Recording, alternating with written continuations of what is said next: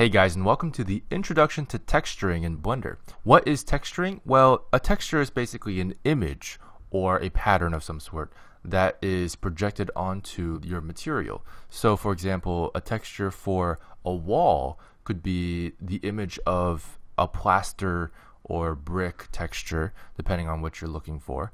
And that texture will be projected onto your material, which is then projected onto your mesh, and then can be used in a lot of different ways to generate a more interesting and detailed material for your object. So most of the time, texturing is going to be done through images, photographs, or painted textures. You're going to have, for example, a picture of wood that somebody took of an actual plank of wood that you can then project onto your material. Now, the way you texture something, it can be either a single texture that is for, for example, a poster that you just put on there uh, and it just works one for one. You might need to repeat the texture over the course of the entire material, which means it would have to be seamless and tileable, which means it can be tiled.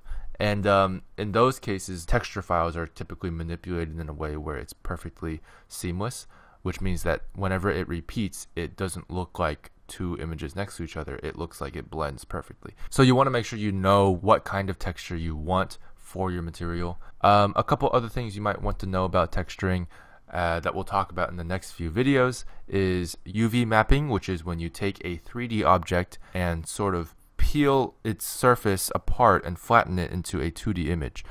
Once you get that 2D representation of your 3D object, then you can map your textures onto every face and polygon of your 3D mesh. There's a few examples here on the screen, but UV unwrapping and UV mapping are going to be in the next video. And we'll also talk about generated textures, which is different from image textures.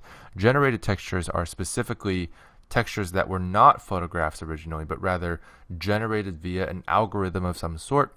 Noise textures are a good example. Typically, you'll just have a bunch of noise in the texture, and it's totally seamless, totally generated. Um, then you'll have other generated materials like stripes, for example, that Blender can essentially create for you. So generated textures are very, very helpful and are technically more flexible than image textures because image textures are just what you see is what you get. So yeah, that's it for the introduction to texturing. We'll go more in detail in the next few videos. So I'll see you guys there.